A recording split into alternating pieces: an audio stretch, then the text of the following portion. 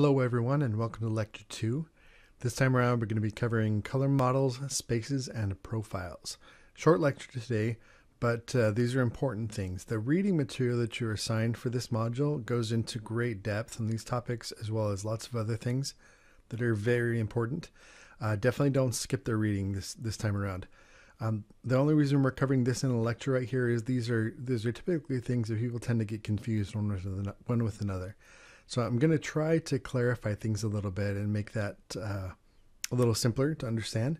And I want to demonstrate a few things as well. So that's our goal. We're going to run through here and talk about some of these things. So many of you that have used Photoshop or any of the design software before have seen these terms at least before color models or color modes in Photoshop, um, color spaces, color profiles. You have these files floating around in your system with an extension of .icc these are the things that we're going to talk about right now. So first off is color models and modes. Uh, in truth, they're the exact same thing. If you hear the term color mode, what that's referring to is the drop down list in Photoshop of color models that you can choose from. A color model is the, the same thing as a mode, so don't get confused by that terminology. Color models and modes, if I use the term interchangeably, uh, just don't be confused. It's the exact same thing. Okay. So the definition there on the screen might help you understand a little bit more what this is. I'd, I'd, encourage you to get familiar with that definition, but to simplify that even further, a color mode is simply all the possible colors that we can build using a set of primary colors or, or hues. So for example, the RGB color mode is everything that you can make by combining different proportions of red, green, and blue. CMYK, same thing all the different colors that you can possibly make with proportional mixes of CMYK or cyan, magenta, yellow, and black ink. Going down the list, LAB is L for luminance, and then we have an A and a B channel for different tints or different colors. And again, we can mathematically map out every possible combination of colors using that uh, that the set of primary hues. Okay, so that's what a color model is. If you open up the list in Photoshop, you'll see that under the um, image menu, convert the, you can convert the mode to grayscale, duotone, bitmap, multi-channel, indexed, and, and others. So this is uh, you know not exhaustive. There's HSB, for example, as well. But there are these are some of the basic color modes. Uh, these are the lists that you get in Photoshop anyway. But a color model, really simply stated, is just what are the basic primary building blocks of a color system. Here's a visual example of the LAB or lab color model. You have a L axis in the center, that vertical axis going up and down, that indicates how bright a color is. That's all that is. As you go out from the center, the further towards the outer radius you have, that is the saturation of that hue. And the angle that it's pointing at, whether that's towards A plus or A minus, or I should say plus A, minus A, plus B, or minus B, the direction that you're pointing on that, uh, kind of a 3D compass, is the actual hue that you're getting. So if we were to map that out, we could we could assign a numerical value essentially to every single location on that. And we're going to kind of do that a little bit here in, in, later on. Okay, so here's a different way of looking at those uh, color models. Uh, on the left hand side, you see CMYK. We talked about this before. Last time around, we covered additive and subtractive color theory. This is kind of illustrating what's going on.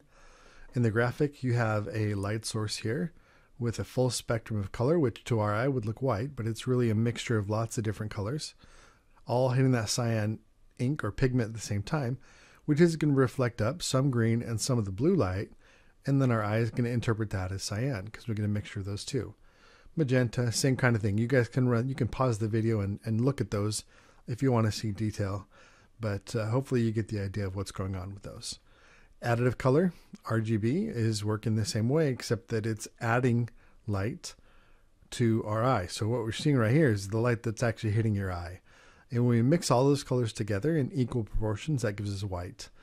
And, uh, you know, red light by itself looks red, red and blue light together gives us magenta, and, and so on. So all the other possible combinations are built by just varying the brightness level of each of those colors, red, green, and blue. You can make a lot of the different colors that way.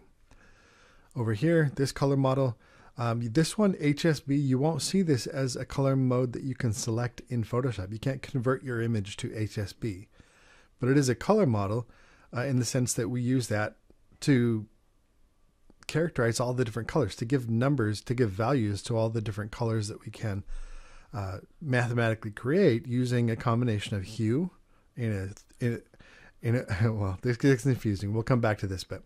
And saturation and brightness. So we can vary the hue, the saturation, and the brightness, and, and we can, uh, you know, give a numerical value to everything. So this looks HSB. Right now, this is kind of stripped apart into a square and a slider where we can choose a brightness. But really, HSB is actually quite similar to this. If we look at it more three dimensionally, instead of having an A and a B axis, if we had a 360 degree compass right here, then the degree value on that compass, this would be zero, where red is. It would also be 360, and we can rotate around this to 180 and so on. And then we've got the brightness value here and saturation on this axis. The further out from the center it goes, the more saturated it is. All right, so that's what color modes are, color models. Color space, this is where things get kind of tricky because color spaces and color profiles are very similar. Uh, it's really more about how you use the term uh, than what it actually is. But a color space is, like the slide says, a specific implementation of a color model.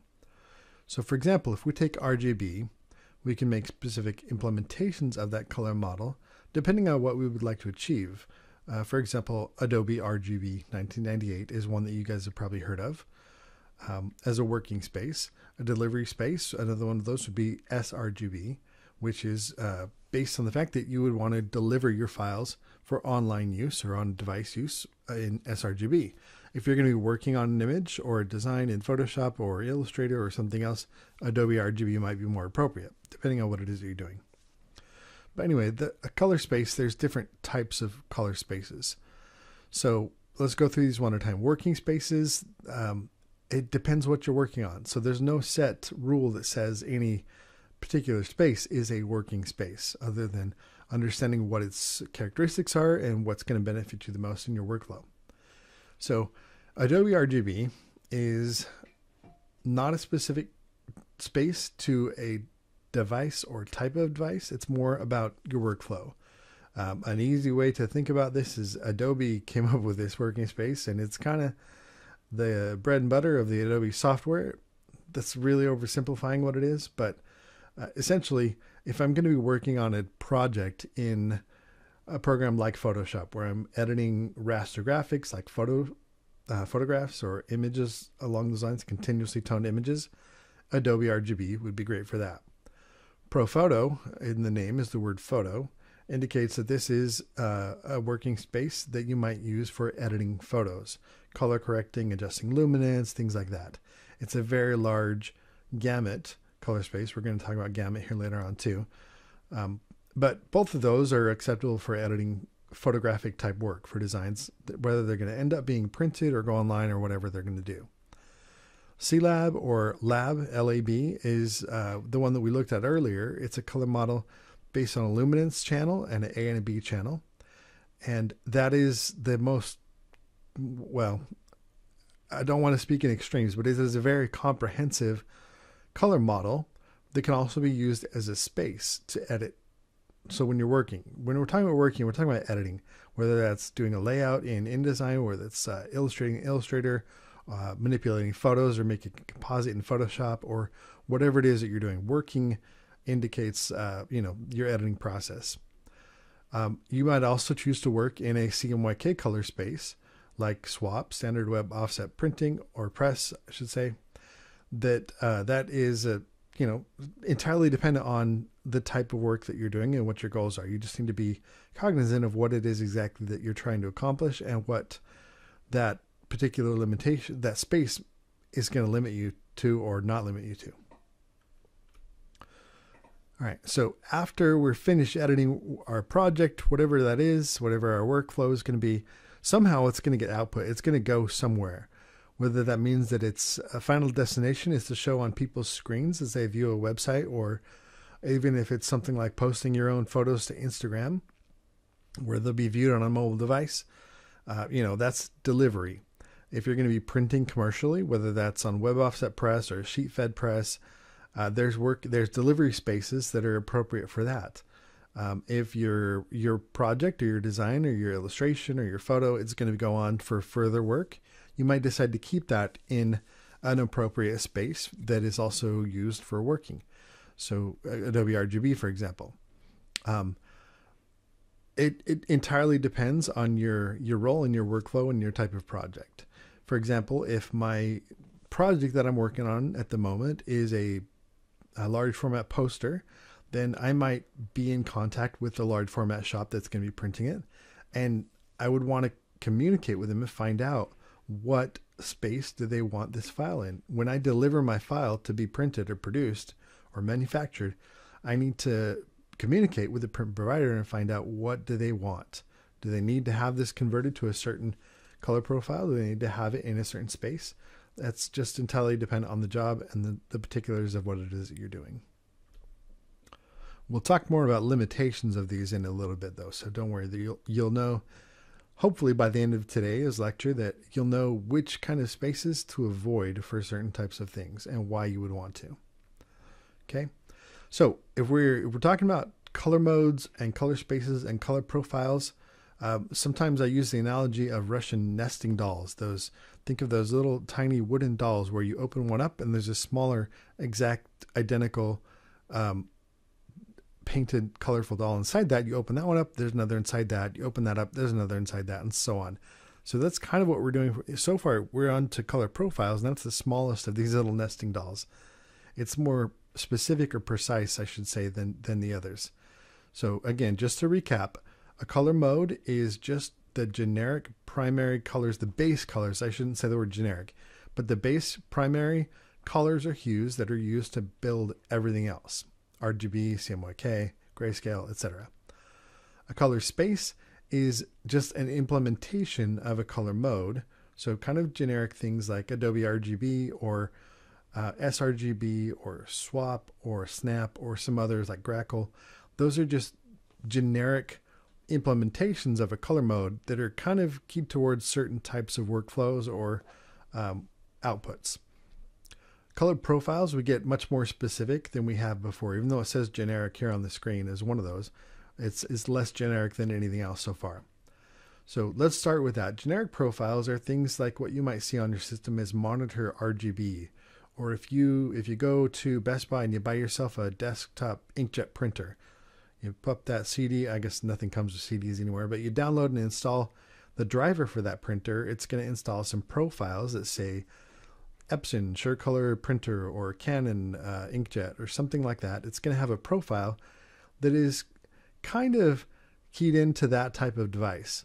And when you run that printer, if you print uh, from your desktop there, you can choose the type of color uh, management that you want. You can turn color management off sometimes, depending on what the driver allows you to do.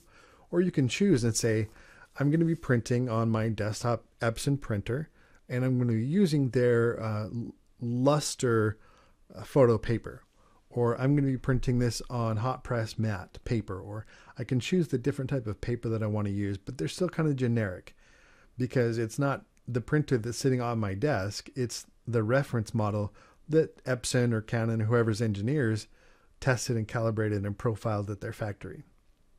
Okay, so custom profiles, getting more specific still, is when we were to if we were to take an instrument like a X-Rite device and print a test chart, a reference chart on that inkjet printer or on any kind of commercial press or this works on monitors too, but if we take a device, piece of hardware, and we measure the actual color characteristics of that device, then we can confidently say that this device's color characteristics are are such and that classification, that characterization of that device is stored in a custom profile, an ICC profile. So this should be somewhat familiar to you based on the reading from like chapter one. Uh, you should be kind of familiar with profiles a little bit at least. Uh, if not, then it'd be a good idea to go back and review that. If what I've said so far today is kind of confusing to you, then I would highly recommend that you go back and do a little bit of that reading and study that a little more. Okay. Um, so anyway, the point is that uh, a, a profile that I create manually using software and hardware combination like X-Rite provides, that is custom to a unique device. I can take a, an instrument and I can suction cup it to my own monitor here in my office, run the software, and it's going to display a whole bunch of colored patches on the screen, different brightness values, uh, different grayscale ramps, and that de- that device, that instrument, a colorimeter, a spectrophotometer, it's going to observe and measure and record that color information that's displayed on the screen. And it's going to compare that to the values that should actually be displaying on the screen. And if there's any inconsistencies between the two, for example, the software is going to display 100% brightness pure red. But on my screen, if that comes through with a slight color cast or an imbalance or it's not quite as bright as it ought to be, then that information is going to be stored in that color profile. And so then if I were to um, correct for that, I can I can save, I can embed a correction using the software, and that ICC profile can correct for that. Uh, when we're talking about commercial printing, a more useful approach would be to print a test chart out. Like a, a IT7 test chart is going to, or IT8 test chart is going to have a whole ton of color patches on it. And we're going to measure all those individual color patches, and that's going to tell us exactly what color characteristics or what behavior a certain device or, or printing press is able to to uh, you know perform, how its color performance is and then we use that information to preview it and correct and soft proof and, and other types of things. But anyway, getting to the point, a custom profile is device dependent. That's very, very specific to an individual device. A generic profile is kind of for a class of devices or a certain model, but it's still pretty vague.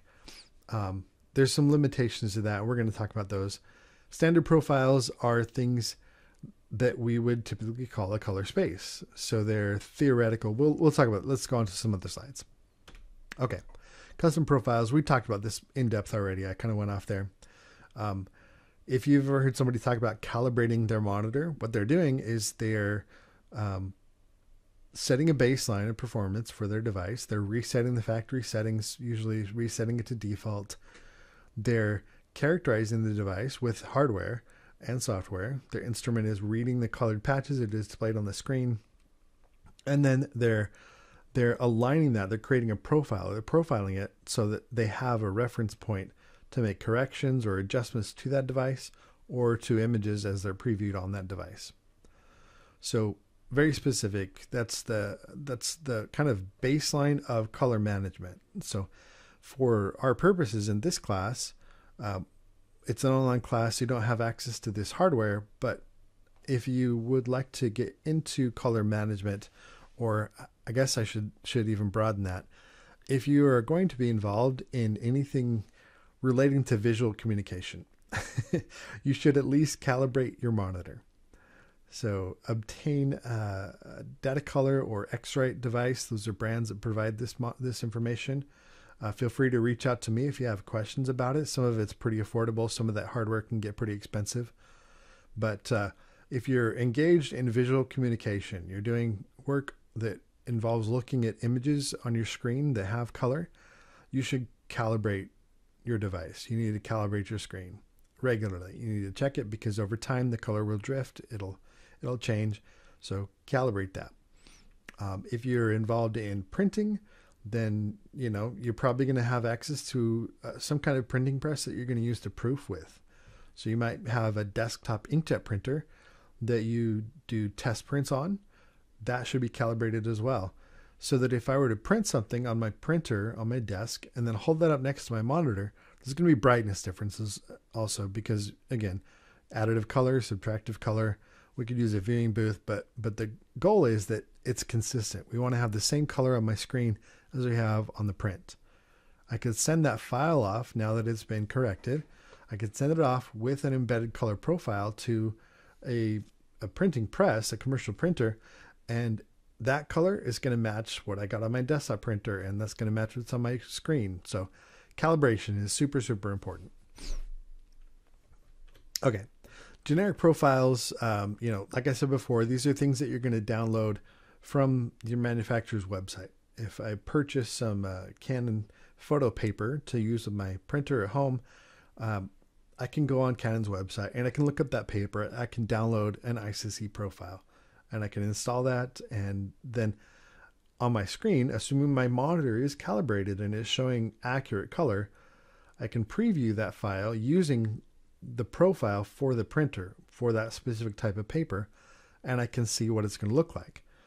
Now that's kind of generic just for that paper to be accurate. What I would want to do is actually calibrate my monitor, profile my inkjet printer on my desktop using that specific type of paper, and then I can be a little more precise. I can know the exact conditions for the, the printer I'm using, the inks I'm using, the paper I'm using, and, and so on.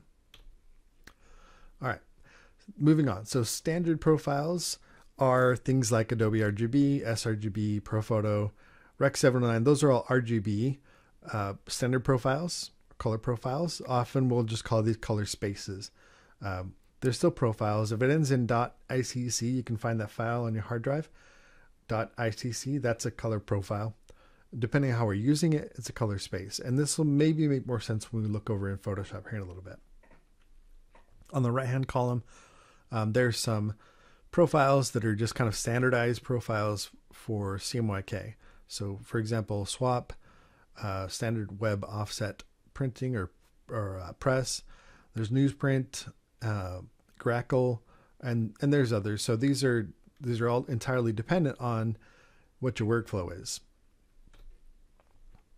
Color conversions are something that uh, are important in color management. If you've read in chapter three of the textbook, you might see some of these formulas in there. And I only put this on the slide right here to make you panic a little bit. We're not actually going to go into this, and I'm about done with my lecture.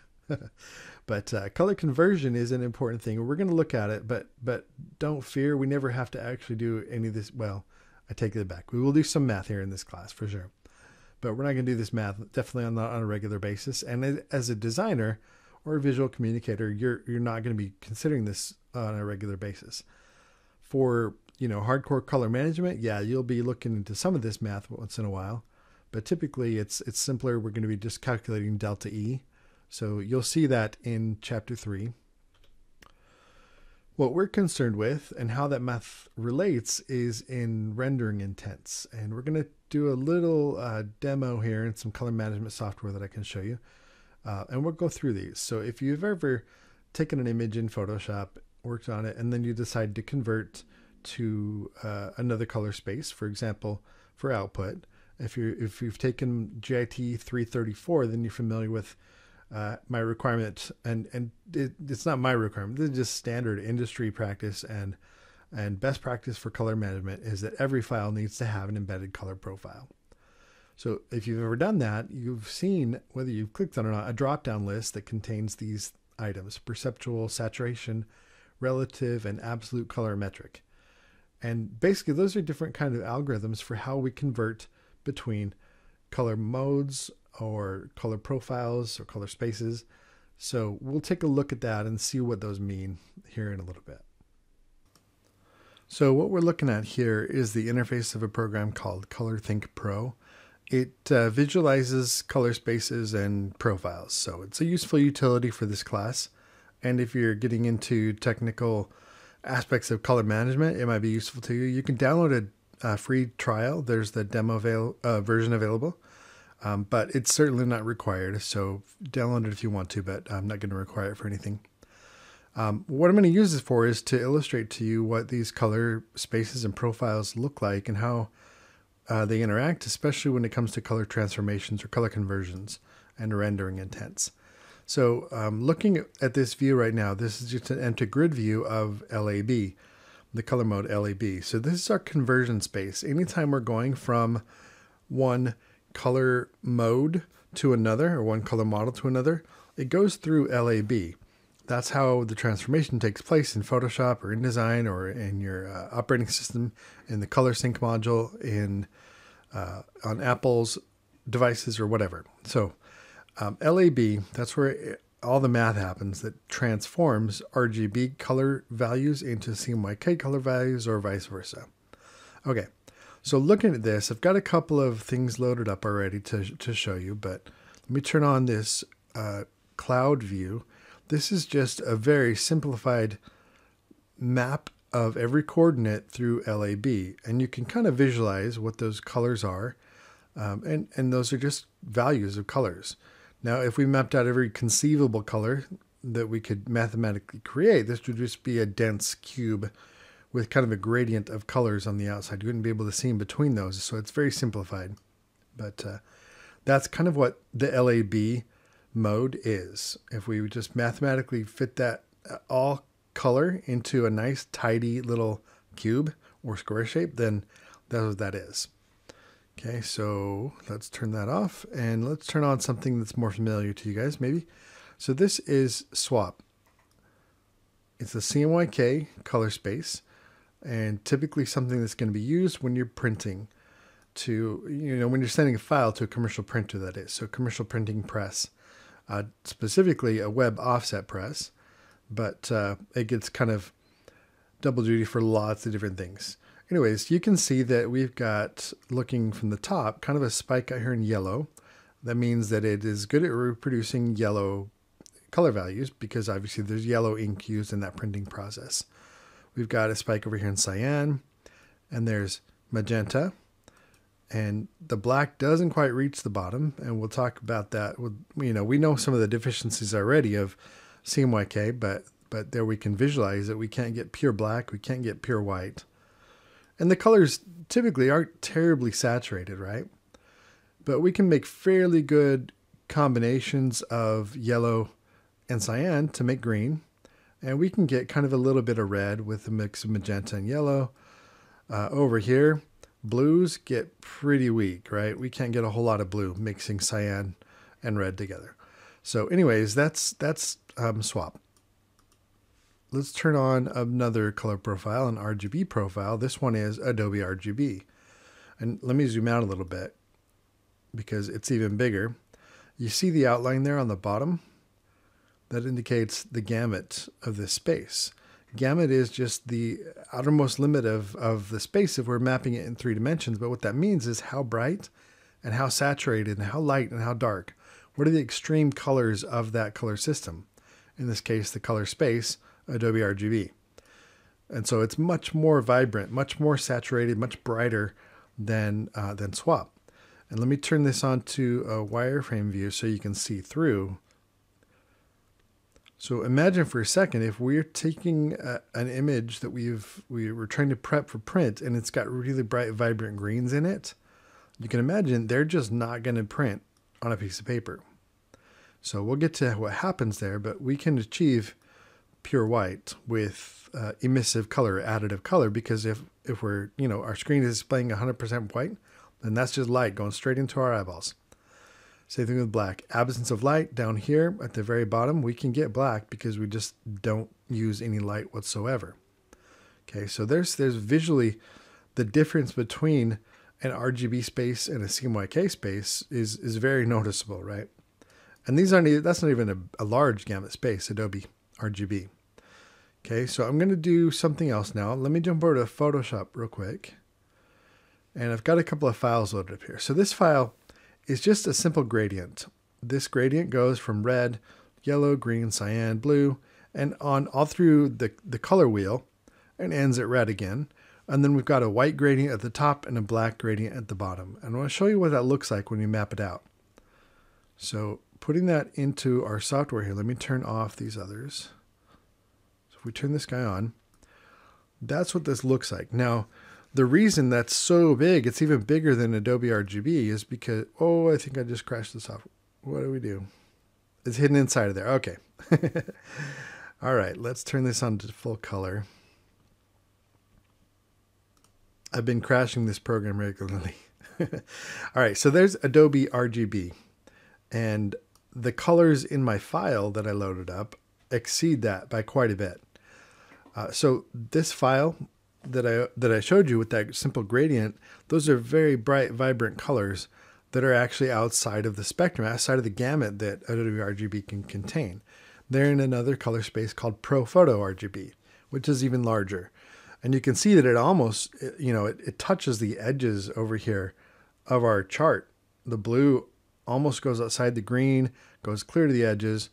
Uh, ProPhoto is kind of a theoretical like all these are, these generic or these standard color spaces, they're they're mathematical constructs. They're theoretical. if we were to build something with all these possible color values, this is what we would get.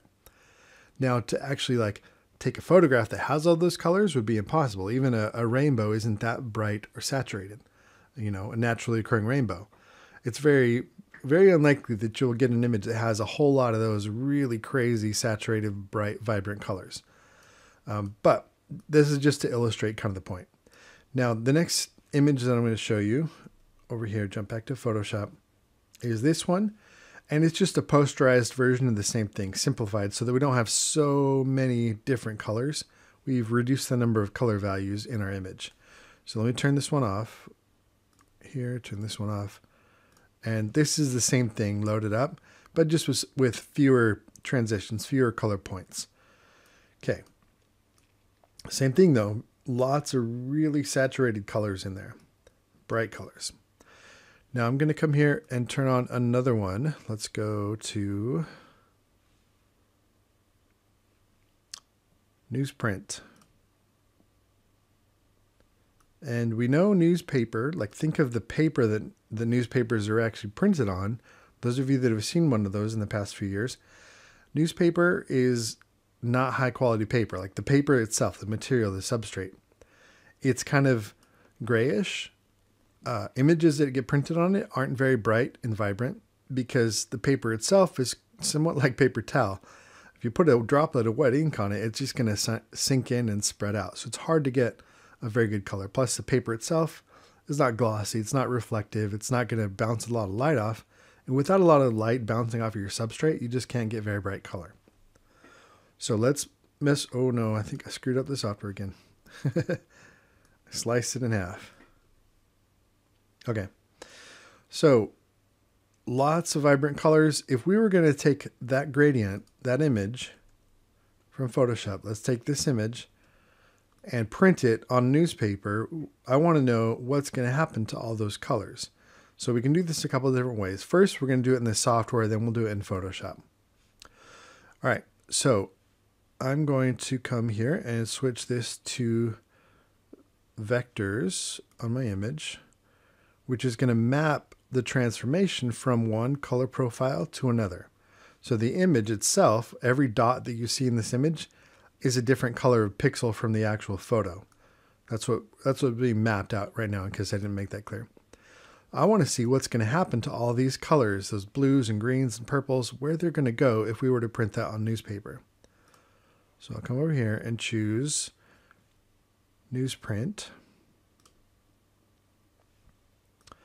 All right, and this pincushion or this underwater creature or whatever alien is representing exactly what's going to happen to all those colors. So these reds and purples and blues, they're all going to be moved in. Let me zoom out maybe. So that's the extent to the color transformations that are going to happen. This green right here is going to go to that. What looks like gray to us in comparison. On newspaper, it's not actually going to be gray, but comparatively so that we can actually see it in the software on our monitors, it's accentuated. So yeah, this looks gray right here. This is just a gray shape. It's not truly gray in print, but compared to this bright, vibrant green out here, yeah, it's kind of gray. All right, anyway, so the point I want to get to here is rendering intent. So let me see if I can zoom in and avoid crashing. All right, do you see that line right here, this outermost edge of this shape? that indicates the most saturated point on this. Okay. So a lot of different vectors are kind of converging at that outermost point on this shape. All right. And that has to do with our rendering intent. So let me change this rendering intent to another one. Switch it. Don't watch the drop down list. Watch over here where those greens are hitting. Okay. If I switch that to perceptual, then you see that a lot of those greens shift to a different location. So what's happening is based on the rendering intent, we're going to stay absolutely true to the original colors as best we can and just reduce their saturation. Or perceptual, some of those colors are actually going to shift so that a green that is, you know, 20% different from another green when we're looking out here, like for example, this green and this green are very different, right? they don't look like it on the screen, but in reality, those two greens are very, very different, right? When we get down here to the final converted version, those greens, there's not a whole lot of difference. You can't see which points those are. I should make this simple file with just two points maybe to illustrate this better. But anyways, saturation, you see there's a difference there too. Relative and absolute colorimetric, there's a color shift with each of those. So depending on what exactly it is you're trying to achieve, you might have different problems with this. You might choose a different rendering intent. All right, so just to uh, the quick short version of this is don't use saturation. It's never going to give you a good result unless what you're doing is a, you know, a, a a, bar chart or something with just simple colors in it where it really doesn't matter what the colors are. You just want them to be as saturated as possible. If you're working with photographs and you don't need to match a certain color, perceptual works really well because that's going to give you the most uh, natural looking transitions between colors over drastic color conversions. Relative and absolute colorimetric are going to be almost identical for the majority of images, but depending on whether you're working with like a specific color, like a brand color, a photograph of a product with a spot color printed on its packaging may be an issue where you're going to need to be careful about which one of these you choose absolute colorimetric versus relative.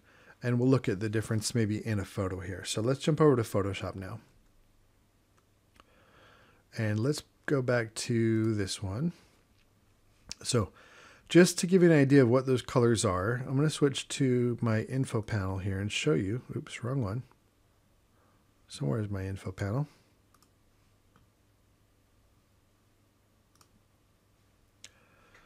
All right, so let me bring the info panel out. And as I put my cursor over these different colors, you can see in the info panel what those RGB values are. So right there, we've got the very edge 255 red, in the center of that blue, if I can find the right spot, it's 255 blue. And it's just a gradient of solid colors. And there's white and black up top, right? Okay.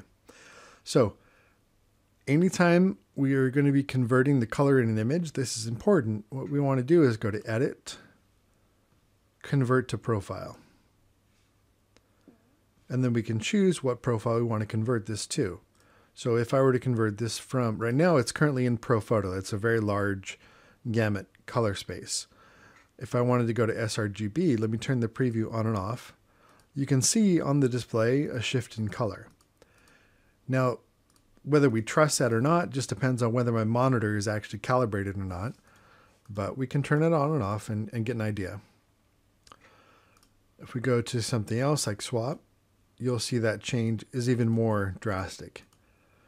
Now, assuming my monitor and your monitor that you're watching this on is, is properly calibrated, then we can assume that what we're seeing on the screen is very similar to what we would get in print.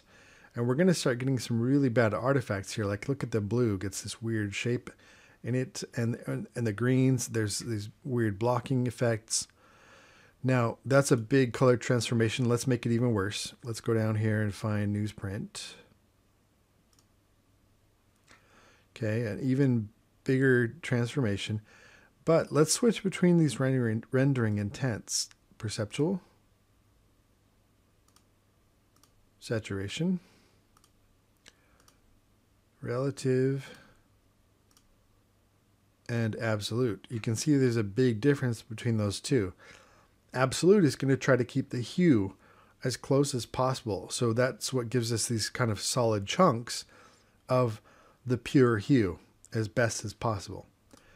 Relative is going to do the same thing in trying to give us the most accurate color, but it's going to be relative to the extent of that color conversion or transformation. Saturation is just going to try and get the most saturation possible out of it, regardless of what those hue or colors turn into. And perceptual is going to try and give the most natural thing that's going to look pleasing. So, uh, again, you'll, you're going to just want to be aware that those are there as, as options when you're using rendering intents. Don't change the engine to something, just keep it on Adobe. Um, and then black point compensation. Uh, again, this just kind of depends on whether you're printing or whatnot, but these are topics for another day. All right, let me cancel that. I don't actually want to convert those colors just yet. I just want to show you one other thing. is when you're working in Photoshop, and other applications have similar features too, but let's go to View, Proof Setup. And in Proof Setup, if we click on Custom, we can have a list to choose from. Turn on the preview here, and without actually converting any of the colors in this image, we can just preview what they would look like. So if we want to see what this would be on SWOP, we can do that. We can check, we can preview the different rendering intents. Now the, the difference here is that if we convert the profile, that's permanent. And we may not want to stick with a certain rendering intent. Uh, we may need to make further edits along the way to this. We just want to see what this file is going to go to when it goes to production, when it goes to press. Um, which leads me to the last thing that I wanted to cover real quick with you guys in this lecture is that your working space, let's go file. Uh, actually, it's going to be in slightly different place depending on which version of the program you're in. But let's look at uh, edit, color settings. All right, and just a disclaimer for those of you that are in any of my other classes right now, going into color settings, this is not going to have any effect whatsoever on an image that I'm working on currently. So this doesn't change anything in that gradient photo image that I'm working on right now. These are just kind of preferences for how Photoshop operates. So in your color settings, it's a good idea to set this up on a machine that you consistently work on. We're going to set the color settings to general purpose 2 for North America, but then we can modify this depending on, on what things are appropriate for your workflow. For example, um, I tend to work with raw photos. I want the absolute biggest color gamut possible, so I'm going to change my working space to ProPhoto because all of my work, all of my edit in Photoshop on photos is, you know, high color stuff. I want to keep that color until the very end. For printing, when I am printing commercially, if I'm going to send this somewhere, then I'm going to be using something like GRACoL. GRACoL is a little bit better color, uh, wider gamut, I should say, not better necessarily than SWOP, but it's going to give you a little bit more color um, color management policies, whenever we're bringing in an image, we want to preserve what's embedded. We want to assume that the image we got has the profile that it should. If there's a mismatch, we can say ask when opening and pasting. If it's missing a profile, it doesn't have one already, we should say ask when opening. And I'm going to ignore the rest of this stuff for right now and leave it alone. But I could just hit OK. I'm not going to actually change the settings right now so I can come back and go through this for another class. But um, this will give me kind of the this little safer workflow for what I want to do. If I'm a designer and everything I do is going to be printed on, uh, for example, on a web offset press or on a screen printer for t-shirts or something, then my pro my working space might be a little bit different. Now, all this is doing is saying when I create a new document or when I import a file in or when I copy and paste a photo into Photoshop, what behavior do I want it to take? I still need to be aware of what the actual image is that I'm working on and what the color profile is and what I'm converting it to. So for working, you want to work in the widest gamut that's reasonable for the type of work that you do. If you're not working on, um, you know, landscape photos, photos with skin tone, product photos, or whatever, things with lots of color, then you may not need ProPhoto, in which case your working space, you might use Adobe RGB. So this image is ProPhoto. But when I'm done with it, and I want to save this, I want to send a copy to, uh, you know, a web developer or to uh, post it on my own social media or whatever, I'm going to convert it to sRGB because it's going to go online. So that would be my delivery space. So same image, I would go ahead and convert that and then save as, you know, a JPEG or whatever file format I'm going to send out, and then and then I'm done. Anyway, there's a lot. This is a topic that we could spend a whole lot of time on. This isn't really a Photoshop or a tools class, uh, so I don't want to get involved in this too much. But hopefully, we can involve some of the stuff in our, further projects, and and this is uh, useful to you. But definitely, definitely don't skimp on the reading this week. Chapter three, you should be pretty familiar with the topics there. And if you if you're late getting your textbook, you want to go back and, and do chapters one and two as well and get very familiar with that content.